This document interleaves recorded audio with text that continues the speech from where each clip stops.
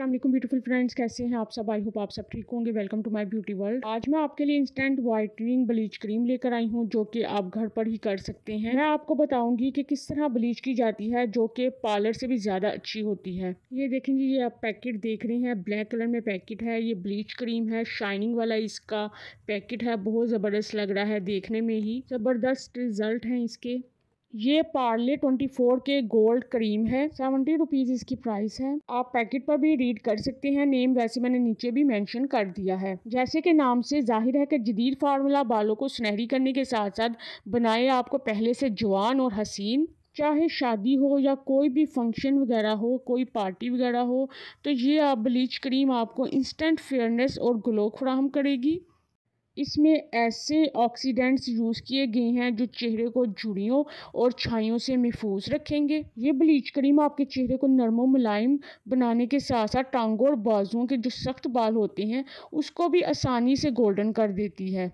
इस पैकेट को मैं ओपन करके भी आपको दिखा देती हूँ। इस ब्लीच क्रीम में सीरम डाला गया है, जो आपको इंस्टेंट वाइट भी करेगा और ग्लो भी करेगा। आपने इसको इस तरह से यूज़ करना है कि जब भी आपने ब्लीच करनी है, आपने एक हिस्सा है जो पाउडर का डालना है और तीन हिस्से क्रीम के डालने हैं। अगर आप बाजुओं पर करना चाहते हैं या लेग्स पर करना चाहते हैं तो आप थोड़ा सा पाउडर ज़्यादा डाल सकते हैं। ब्लीच क्रीम में आप थोड़ा सा दूध भी ऐड कर सकते हैं वाइटनिंग कैप्सूल भी ऐड कर सकते हैं, या फिर अगर आपके पास सूथिंग जेल है सूथिंग कोई भी मॉइस्चराइजिंग लोशन है, वो भी ऐड कर सकते हैं, ये आपकी अपनी मर्ज़ी है। फिर आपने इस क्रीम को लगाना है, इतने लेप से लगाना है कि बाल छुप जाएँ। 10 से 15 मिनट बाद आपने चेक करना है कि बाल गोल्डन हो गए हैं। अगर गोल्डन हो गए हैं तो आपने टिशू से साफ़ कर लेना है, या फिर आप ऐसे ही वॉश कर लें। इसको ओपन करके भी मैं आपको दिखा देती हूँ कि इसमें क्या क्या है। याद रखना है कि 10 से 15 मिनट अगर लिखे हुए हैं ब्लीच क्रीम के ऊपर तो आपने इतने मिनट्स ही रखना है, ज़्यादा देर नहीं रखना। क्योंकि इस तरह ब्लीच का उल्टा असर शुरू हो जाता है, ब्लीच को ज़्यादा देर नहीं रखते हैं। अगर आपकी स्किन सेंसिटिव है तो एक्टिवेटर की मकदार को कम रखना है और अगर आपके बाल सख्त हैं, जल्दी गोल्डन नहीं होते हैं तो एक्टिवेटर को आप थोड़ा सा ज़्यादा डाल सकते हैं। ये देखें, पैकेट देखें, ये एक पैकेट निकला है जो कि पाउडर है, ब्लीच का जो पाउडर होता है वो है। इसको आप यहाँ से कट करके ओपन कर सकते हैं। याद रखना है, ब्लीच क्रीम जब भी बाय करनी है, एक्सपायरी डेट लाजमी तौर पर चेक करनी है।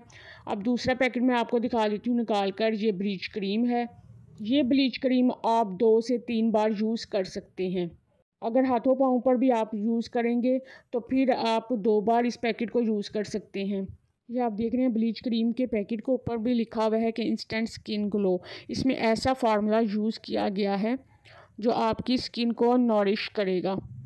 ब्लीच क्रीम को हमेशा ठंडे पानी से धोना है। उसके बाद आपने चूल्हे वगैरह के पास नहीं जाना है हीटर के पास नहीं जाना है, किसी भी हीटिंग वाली जगह पर नहीं जाना है। अगर आपकी स्किन बहुत ज़्यादा रेड हो गई है, आपकी स्किन पर पिंपल्स थे तो बहुत ज़्यादा इचिंग हो रही है तो आप बर्फ़ लगा सकते हैं अपनी स्किन पर। बहुत ही ज़बरदस्त ब्लीच क्रीम है ये। एक बार यूज़ करके देखें, आपको रिज़ल्ट बहुत अच्छा मिलेगा, पार्लर से भी ज़्यादा अच्छा रिज़ल्ट इसका मिलेगा। पार्लर में भी सेम यही क्रीम्स वगैरह होती हैं, सिर्फ़ वो थोड़ा सा शाइनर ऐड कर लेते हैं या फिर वाइटनिंग कैप्सूल ऐड कर लेते हैं। थैंक्स फॉर वॉचिंग फ्रेंड्स, अपना बहुत ख्याल रखिएगा, अल्लाह हाफिज़।